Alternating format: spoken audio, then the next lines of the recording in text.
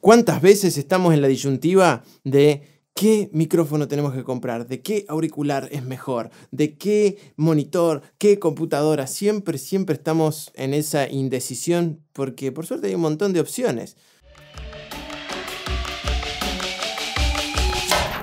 Hola, soy Nico Estigiano y hoy vamos a estar comparando dos míticos micrófonos del siglo XX, en realidad de ya de más, son nuevos los micrófonos del siglo XX, queda como Ah, no, el siglo XX es el anterior. Uh. Y los cuales generan un montón de dudas. ¿Por qué? Porque, ¿cuál me compro? Este, me compro aquel, me compro. Ah, pero este un poco más caro, pero este hace más ruido. Pero antes, vamos a ver cuáles son.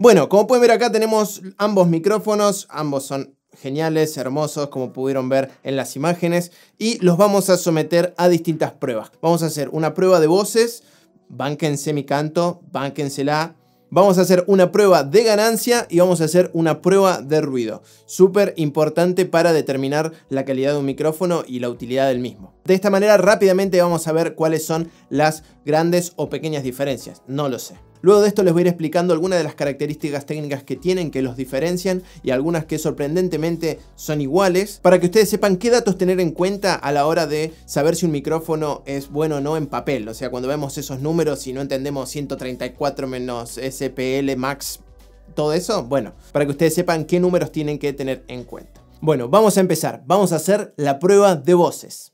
No existe otra manera no existe otra manera. No existe otra manera. No existe otra manera. Hola, sí, Rode NT1A probando, prueba. Hola, sí, sí, hola. Prueba de voces, probando. Audio Técnica AT 2020. 1, 2, 3. Hola, sí, sí. Ahora vamos a hacer la prueba de ganancia. Voy a tener la ganancia exactamente igual en la placa en ambos canales para comparar cuál es la capacidad que tiene cada micrófono. Prueba de ganancia. Probando la ganancia. 1, 2, 3. Prueba de ganancia. Rode NT1A. Probando ganancia. 1, 2, 3. Audio Técnica AT 2020. 1, 2, 3. Hola. Sí.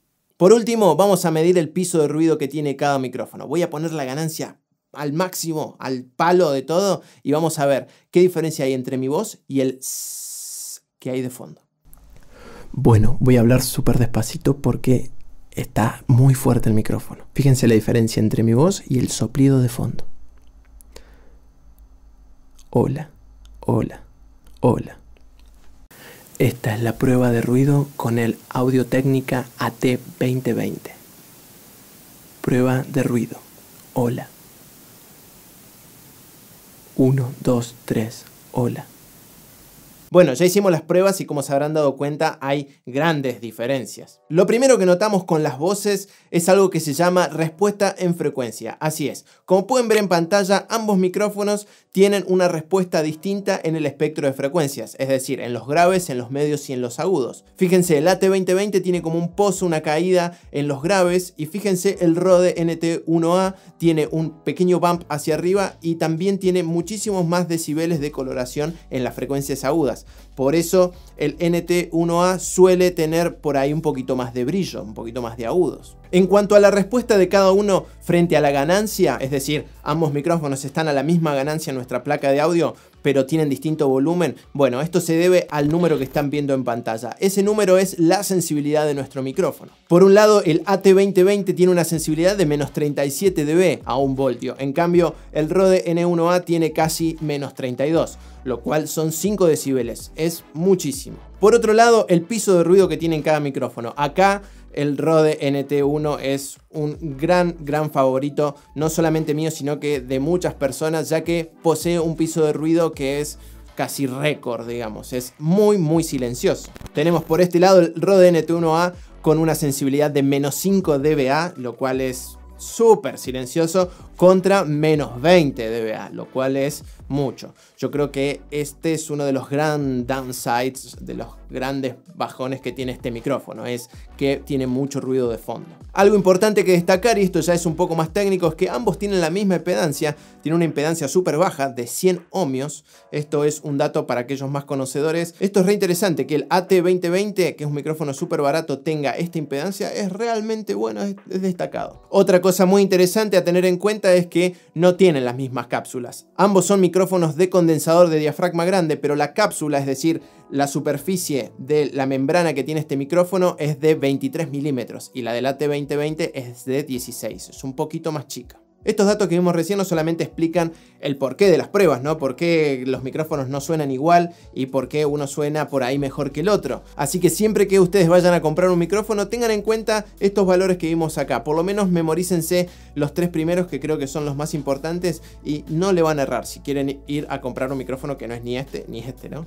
Algo muy importante y por ahí un poco injusto en esta comparación, pero bueno, es una comparación bastante interesante, es la cuestión del precio. Por un lado tenemos el Rode NT1A en un valor aproximado de 229 dólares y por otro lado el AT 2020 solo cuesta 119. Esto es súper importante a tener en cuenta ya que estamos hablando de presupuestos totalmente distintos, uno vale casi el doble del otro. Una de las razones por la cual hago esta comparación no es para ver cuál micrófono es mejor, sino para mostrarles qué significa invertir más en nuestro por ahí primer micrófono. Si vamos a tomarnos por ahí bien en serio esta cuestión del sonido y demás, podemos llegar a guardar un poco más de dinero y comprar un Rode NT1A porque la diferencia, a pesar de que sale el doble, la diferencia es muy muy abismal. Pero bueno, por otro lado, si quieren empezar, también tienen un gran micrófono por un presupuesto realmente súper, súper chiquito, que lo único que hay que hacer es saber cuáles son sus limitaciones y trabajar con ello, nada más. Bueno, la verdad que ambos son excelentes micrófonos, hay un montón de diferencias entre ellos, como pudimos saber.